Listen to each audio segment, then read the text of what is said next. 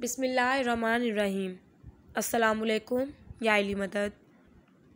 شہزادہ علی اکبر علیہ السلام گیارہ شابان تینتیس ہجری کو جناب لیلہ سلام اللہ علیہ کے بطن سے اس دنیا میں تشریف لائے۔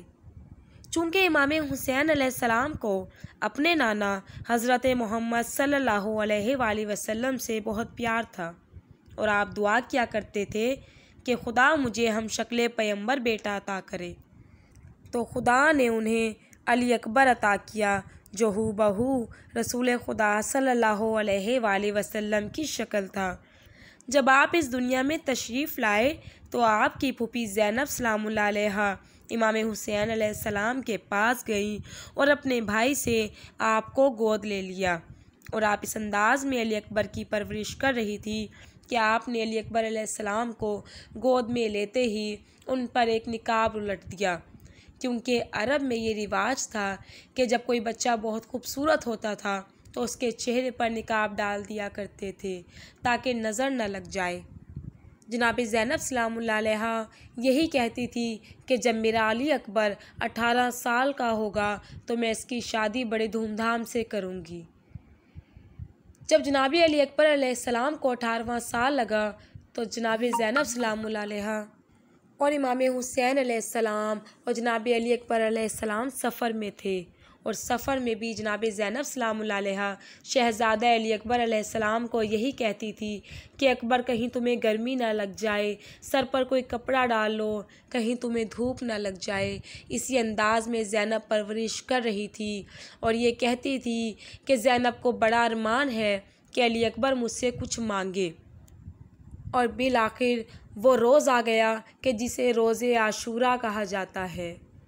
جب جناب علی اکبر علیہ السلام نے آخری اذان دی، تو جناب زینب سلام اللہ علیہ نے کہا کہ علی اکبر سے کہو کہ اذان بلند آواز سے دے کہ میں تیری پھوپھی زینب، تیری اذان ایک مرتبہ سن لوں۔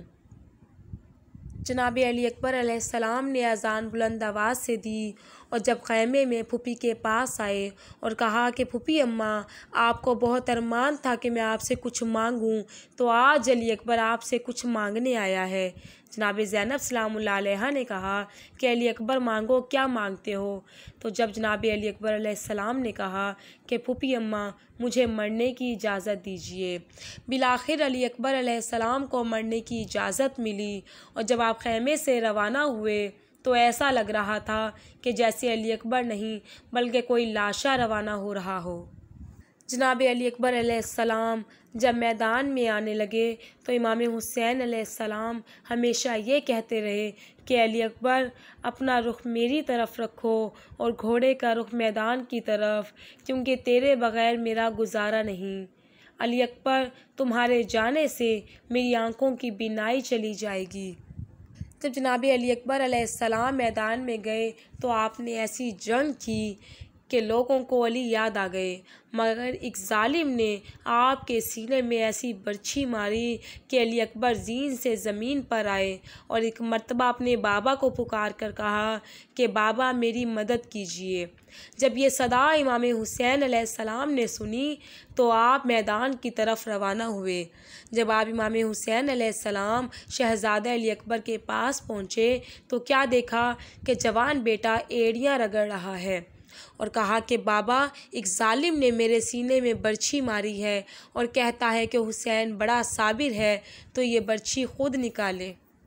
امام حسین علیہ السلام نے فرمایا کہ علی اکبر برچھی میں خود نکالوں گا، اپنی آخری وصیت بیان کرو، آخری خواہش بیان کرو۔ تو جناب علی اکبر علیہ السلام نے کہا کہ بابا مجھے ایک مرتبہ میری بہن سغرا سے ملا دیجیے۔ بی فاطمہ سغرا سلام اللہ علیہ وہ بہن تھی کہ جنہیں علی اکبر علیہ السلام سے بہت پیار تھا۔ اور انہیں یہ مان تھا کہ جب علی اکبر علیہ السلام کربلا جائیں گے تو بی بی فاطمہ سغرا کو لے کر ہی جائیں گے۔ مگر تقدیر کے کرنی ایسی کہ جناب علی اکبر علیہ السلام، بی بی فاطمہ السلام اللہ علیہ، کو چھوڑ کر اور ان سے یہ وعدہ کر کے آئے کہ میں تمہیں لینے کے لیے آؤں گا۔ جب دس محرم کو علی اکبر کی شہادت ہونے لگی تو آپ نے کہا کہ ایک مرتبہ مجھے میری بہن سغرا سے ملا دیجیے ادھر جناب سغرا سلام اللہ علیہ کو اپنے بھائی کا شدت سے انتظار تھا۔ آپ نے ایک قاصد کے ہاتھ اپنا ایک خط بھیجا کہ علی اکبر تمہیں تمہاری بہن یاد کرتی ہے۔ تاریخ کہتی ہے کہ جس وقت علی اکبر کی شہادت ہوتی ہے، اسی وقت قاصد وہ خط لے کر پہنچتا ہے کہ جسے خط لے کر امام حسین علیہ السلام علی اکبر کے لاشے پر رکھ دیتے ہیں۔ اور کہتے ہیں کہ علی اکبر تم وعدہ پورا نہ کر سکے، ادھر بہن تمہارا انتظار کر رہی ہے اور ماں خیمے میں تمہارا انتظار کر رہی ہے۔ مگر علی اکبر علیہ السلام نے باپ کے ہاتھوں پر ہی دم توڑ دیا۔